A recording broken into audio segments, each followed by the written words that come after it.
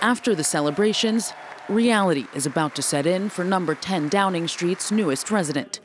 Liz Truss takes office as inflation in the UK hits a 40 year high. Prices rose 5.5% in January to over 10% in July of this year, exceeding inflation in the Eurozone and in the United States during the same period. After Brexit and the coronavirus pandemic, the war in Ukraine sent prices soaring across the United Kingdom, particularly in the food and energy sectors. In April, the costs of gas and electricity rose a whopping 54%.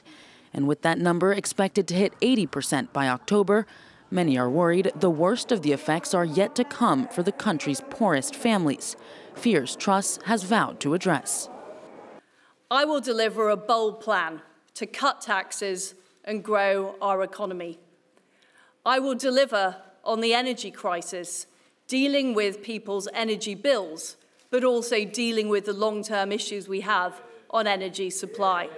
According to Bloomberg, Truss's government plans to freeze energy bills in the UK, a measure that could cost up to 130 billion pounds over the next 18 months, though just how it will be financed remains unclear.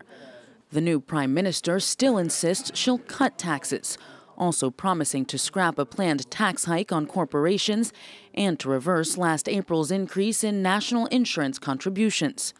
For her critics, though, it's a dangerous risk to take, especially as the United Kingdom's debt skyrocketed during the COVID 19 pandemic, with the country now teetering on the verge of a lengthy recession.